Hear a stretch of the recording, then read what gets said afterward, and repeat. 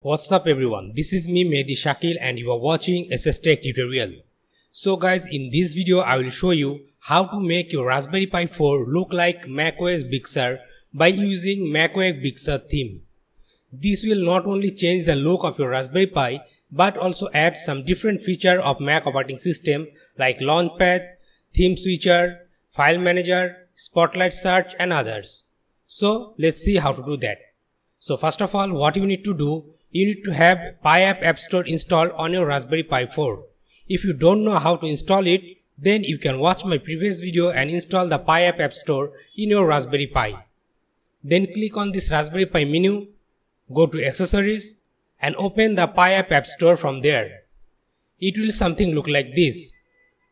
Now from here click on All Apps and here you will find all of those app listing which you can install on your Raspberry Pi with just a single click. Now from the list, find out macOS theme and click on it and another window will pop up. Here all the details is written about this macOS theme.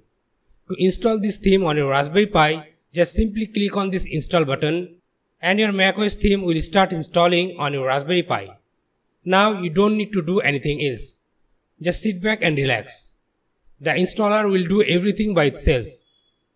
It can be happen that just couple of time you need to have press enter key or Y key. I'm gonna fast forward this part. Okay, now when the installation will be completed, you will have a pop-up window of macOS theme switcher like this. Using this switcher, you can switch your macOS theme into light mode and dark mode. Just click on convert to light macOS Big Sur and it will change the whole look of your Raspberry Pi into macOS Big Sur light version.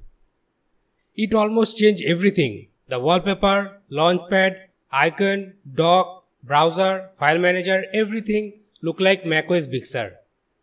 Now if you want to convert the theme in dark mode, just click here on the theme switcher and it will convert the macOS Big Sur in dark mode. You can open this theme switcher by go to application and theme switcher. Now let me show you how to uninstall it. It's very simple. Just again open PiApp App Store, then from the list click on macOS theme, then click on this uninstall button and it will uninstall the macOS theme and get you back to Raspberry Pi. So guys, that's all for today. I hope you like this video. So give it a big thumbs up and share this video to your friends. And if you're new to this channel, then please do subscribe and press the bell icon to get all the latest video updates. Thanks for your watching.